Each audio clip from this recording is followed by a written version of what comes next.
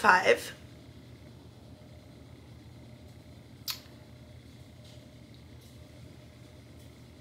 Yeah. And I have been compensating myself for that fact pretty heavily since since my birthday by purchasing books. Um, mostly thrifting up to this point, but I definitely have acquired my desired dopamine, you know, calm the things that ensue when you turn 25 by buying books. And I decided that I wanted to do more of that today with you. I just got off work and the sun is still out, which is just the best thing in the whole world. And my roommate and I are about to go to one, maybe two local bookstores that I just, that I love. She's mostly just accompanying me because I have a problem. I'm only letting myself buy a few books and then I will give you guys a haul of what I end up getting and also just kind of show you what else I've gotten over the last, at this point, like two two-ish weeks. It's a lot. Again, I've thrifted most of them. But I have like my mind set on a couple of books because since I've been thrifting, all of the books I've been accumulating, I love thrifting, don't get me wrong, but when you're thrifting books, obviously you are limited to what people have donated obviously. But I love the feeling of going to an actual bookstore that has huge selection and getting to pick like books that have been on my radar that I'm actively seeking out instead of just like seeing what gems I can uncover. Both amazingly fun hobbies, just very unique. And I wanted to give myself the opportunity to go get a couple new books. So that's what this is.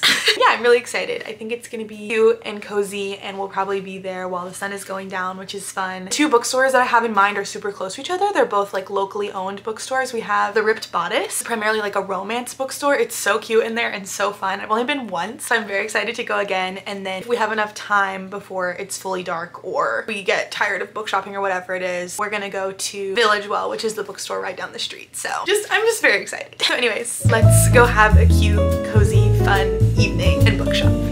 Okay.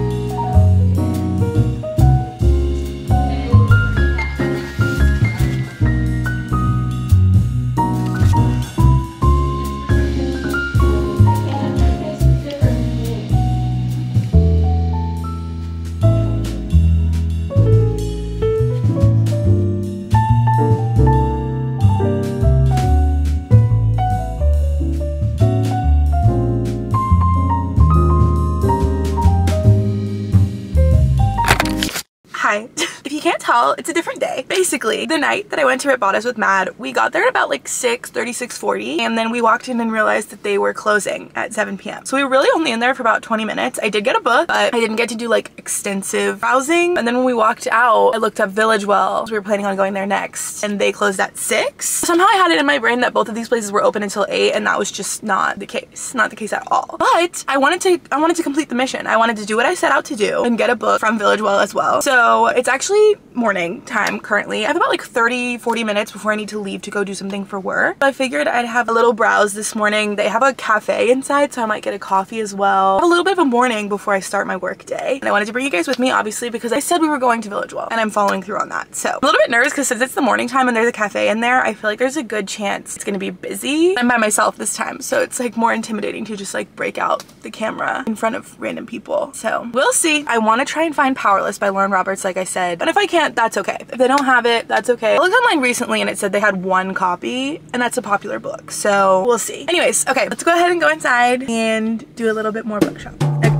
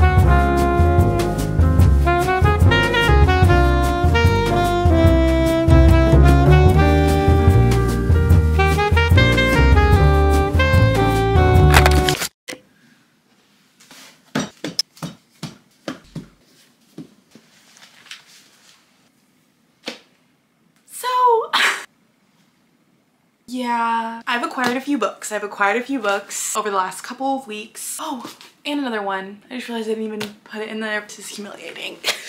okay, I'm racing against the clock right now because the sun is currently going down and I want to try and finish filming this while I still have daylight in here. We'll see if I can get it done. I'm like really not sure. we're gonna we're gonna try our best. I'm gonna try and be concise. So it's not an outrageous amount of books. It's just kind of crazy that only one of these was a gift. The rest I did buy for myself in the name of my birthday, which is just kind of, it's just, it's just you get it. You get it. It just makes me laugh that like every time I was like out and about in the last couple of weeks, if I saw a book that I wanted, I was like, my birthday. Regardless, regardless of the amount of rationalizing and excuse making that was behind these purchases, I did make them. So let's go ahead and talk through them.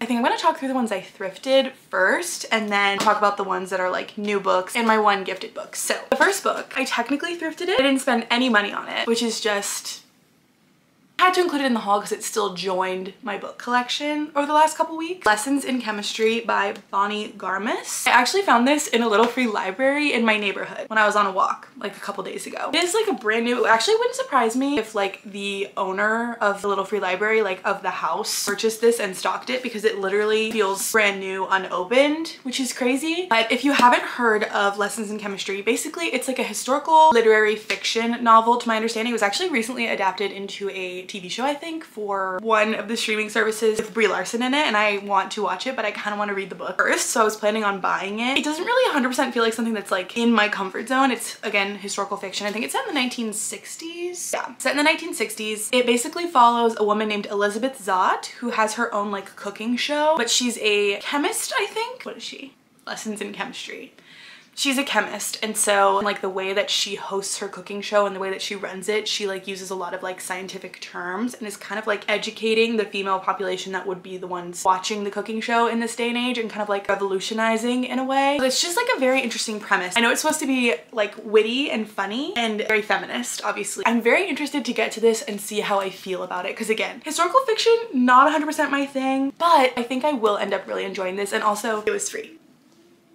So Book number one, Bride just sitting on the bed behind me. Okay, book number two is The House in the Cerulean Sea by TJ Klune, which I actually thrifted at my favorite nearby thrift store that always has an insanely stocked book section. Like I can usually find at least like one or two gems hidden away. This one is like a little bit, it's a little bit beat up, like just the corners like folded down, but it actually is originally from Village Well love her. And this is actually a book that's on my 24 books in 2024 list. So I wanted to get a physical copy of this anyways, which you'll see is kind of a recurring theme in this video. It's one of those things where I'm kind of taking a risk with reading it. I'm not 100% sure if I'm gonna be obsessed with it because I feel like I've heard very like mixed things. You either really like like the cozy sweet vibes or it's just like not 100% your thing. And I'm not sure where I'm gonna land. It's one of those things where I was like, if I end up falling in love with it, I'm willing to spend the money to replace this copy for one that's like new. Anyways, I really don't know much about the plot. Honestly, it's really somebody that likes to go in blind. I feel like I say I don't know much about the plot a lot. I almost never know stuff about the plot. I still have to give the, the disclaimer every time.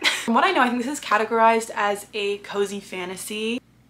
I think. And I think we follow, yes, we follow our main character Linus Baker, who is a by-the-book caseworker in the department in charge of magical youth. And basically he is sent to this house to kind of like investigate or like observe these children that live there that have magical abilities. And I think it ends up just being an overall like really sweet found family kind of vibe, which is really cute. I don't think it's high stakes at all. I think the magic is very much like a coming of age thing rather than like a magic thing, if you know what I mean. And also the little blurb on the front is V.E. Schwab and it says, I loved it. It is like being wrapped up in a big gay blanket. Simply perfect. So I don't know. I'm really, really excited to get to it. I'm so excited that I found it at the thrift store because again, I was gonna have to buy it anyways. And I just also, the spine, like those colors, it's just, it's just so good. And I'm really excited. So book number two. Book number three is The Night Circus by Erin Morgenstern, which has been on my radar genuinely since I was like on Tumblr in middle school. Like this is one of those that I've always heard about. Literally don't know the specifics of the plot actually at all. I know it's fantasy. I know it's low stakes fantasy, like kind of like no plot, just vibes. I'm really, I'm really throwing, I just threw out low stakes. I don't actually know if that's true. I know the no plot, just vibes really is. Everyone is just like always raving on about Erin Morgenstern's writing. And I actually also own The Starless Sea by her and it's actually on my March TBR. I've always referenced The Night Circus when I'm talking about The Starless Sea anytime I've talked about it in any of my TBR videos. So like this is one that I have wanted to get to for so long and I'm so curious to see if I'm obsessed with it the way people were on Tumblr back in the day. All I know, genuinely, is that it is about a circus that arrives at night. That's all I got. I think it's an adult fantasy with a romance subplot. And this is genuinely me guessing. So yeah, anyways, book number three. book number four, I think I thrifted actually a little bit before my birthday. This is another one that like doesn't technically count, but I'm gonna throw it in here because I've added it to my collection. And now I'm like considering it something that I bought myself for my birthday. It's Station 11 by Emily St. John Mandel. This is another one that has been adapted. I'm pretty sure it's a, an Apple TV show, I think, and I have heard incredible things about it. Again, not super sure on the plot, but I know that it is like a dystopian. I'm pretty sure it's like literary fiction adjacent, dystopian, minimal plot, like almost like slice of life. Somebody that lives in a dystopian future. I think it's like post-plague or something like that. It's set 20 years post devastating flu pandemic. So I think it's like dual timeline. It depicts life before and after events of the situation that happens in the book. And it's very much like dystopian vibes in the future. It's described on the back, like blurbed on the back as darkly lyrical, dot, dot, dot, a truly haunting book, one that is hard to put down. This is one that I have had on my radar for a while, but it's also one that I don't know exactly when I'm gonna be in the mood to pick up. I just really, really wanted to buy a book the day that I was at the thrift store and I found this. So I got it. it's one that I will pick up when I'm really in the mood to like use my brain You know what I mean? Because it obviously is not escapist in the way that most books are and that is what I love the most about reading. But like every once in a while I feel like I like the feeling of being challenged a bit. So we'll see. Okay, and then the last book that I thrifted is Illuminae by Amie Kaufman and Jay Kristoff. This is a huge book. I literally only know about it because of Heather because she read it and she really, really enjoyed it. What I know, it is a young adult, like almost like sci-fi dystopia situation. Yes, it's set in 2575 in space, I think. I think it's set in space.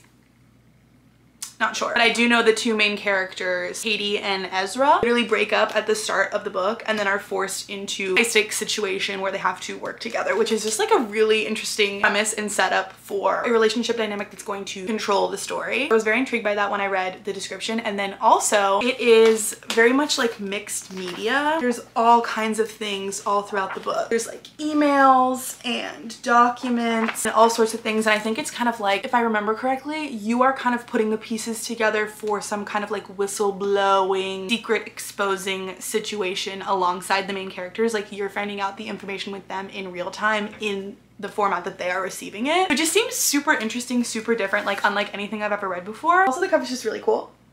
So very excited about this one. And it's also another one that's like in pristine condition. So love that. Then I got one physical book as a gift. I actually just got it this morning. One of my friends dropped off presents for me and my roommate. She got me One True Loves by Taylor Jenkins Reid, which I have not read any of Taylor Jenkins Reid's books outside of the Famous Four series. Love the Famous Four series. I know I love her writing, so I'm really excited to read this. I also just, every once in a while, you just crave like a really solid contemporary romance that is very likely to make you cry. And from what I know about this, it will. So thank you so much, Erin. Thank you.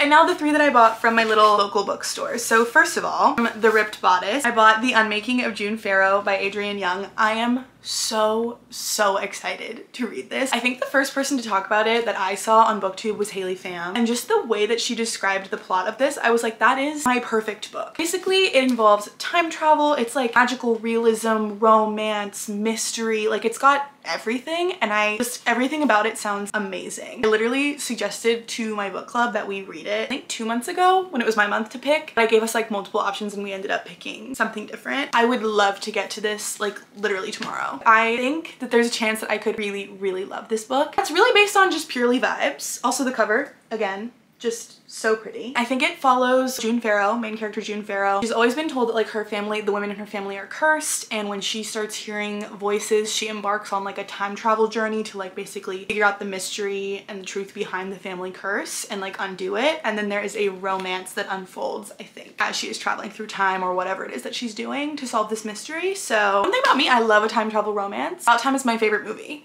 of all time. So if this is anything like that, I will be eating it up. Okay, and then I actually just realized like when I sat down to film this that I had forgotten that I purchased this for myself. So I actually bought the paperback version of Happy Place by Emily Henry when I was at Village Well like two weeks ago, I think, a week and a half ago. I had already actually purchased a book from Village Well for myself in the name of my birthday. So moving on from that, I just was so excited when I saw it and realized that it had come out in paperback. I don't know where I've been. I thought that we were still waiting for that to happen. I saw like one promotional TikTok from somebody that works in publishing being like sneak peek of the paperback and I saw that it had yellow spine, which I will say not the biggest fan of. The original hardback cover, if you're unfamiliar, is pink. And as much as I love the way that this matches my other books, my other Emily Henry books lined up, I do miss the pop of pink. So I will be intrigued to see what color the funny story spine is when it comes out. I hope that it's like a bright, because it's like purple, the cover is purple, so I'm wondering maybe it will be pink on the side. I don't know. Happy Place is one of my favorite books of all time. I love it so much. I read it for the first time last summer. It is a contemporary rom-com slash rom-dram. It takes place in Maine. It is a friend group slash trip out to the beach house that they take a trip to every summer. And um, our main characters are pretending to still be engaged for the sake of their friends. They broke up, didn't tell anyone, go on this trip, one last hurrah with their friend group are lying to everyone. It's just, it's just so good. I've talked about it so many times. I just, I really strongly encourage you to read it if you haven't. Like six stars. So had to get it. I had to get it in paperback. If there's one thing I don't need, it's multiple copies of the same book. I needed this, okay? I needed it. Okay, and then lastly, today, as you saw at Village Well, I bought Powerless by Lauren Roberts, which if you're unfamiliar is a YA fantasy dystopian enemies to lovers situation. The way I have seen people become absolutely obsessed with this is crazy. One, because one of my friends, not to put her on blast, read this like very early on when it was like first gaining popularity and she did not like it at all. Like she actually really, really hated it. So I had gotten that review from her and then all of a sudden she was everywhere. She was everywhere and people were obsessed with her. And I was like, wait, I'm so confused. I think, to be fair, I think my friend did read an early version of this because she bought like the first like indie published. Actually, I'm pretty sure Lauren Roberts like self-published it. So I think it's gone through another round of edits maybe, like grammatical type stuff since it was picked up by an official publisher. I just think it's so funny that early on I heard conflicting reviews and now I've heard literally nothing but glowing positive reviews. I've heard that it is a mix, or she even like cites this in her acknowledgements, that it's kind of like a mix of Red Queen and Hunger Games. And from what I've heard, she kind of like has like picked out the best parts of each of those stories and kind of put her own spin on it. I don't know how I'm gonna feel about that because I used to be obsessed with the Red Queen so I know that plot very well and then The Hunger Games is one of my favorite series of all time. So I don't know if it's gonna like bother me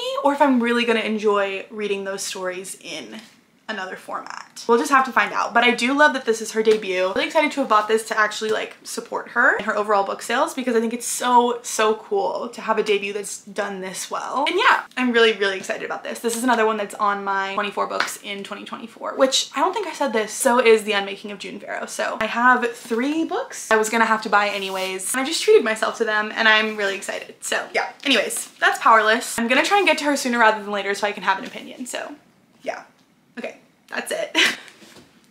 so, I'm so excited about almost every single one of them. As you know, Station 11, I'm a little bit unsure. Re City Destroyed by Flu for obvious reasons. But overall, I am like so thrilled with this. You know, there's just really something about the dopamine from literally just browsing in a bookstore and the dopamine from moving forward with purchasing books from said bookstore. Just, it's just unmatched. It's unmatched. That is actually it for today's video. Thank you guys so much for entertaining my birthday month mindset and keeping me company while I gathered more books than I know what to do with. I highly recommend if you're ever in the Culver City area, if you're visiting Los Angeles for whatever reason, to check out The Ripped Bodice and Village Well because they're both incredible stores, locally run, so much fun. Highly recommend visiting them if you ever have the chance. So that's, that's it for today's video. Thank you guys so much for watching and I will see you in the next one.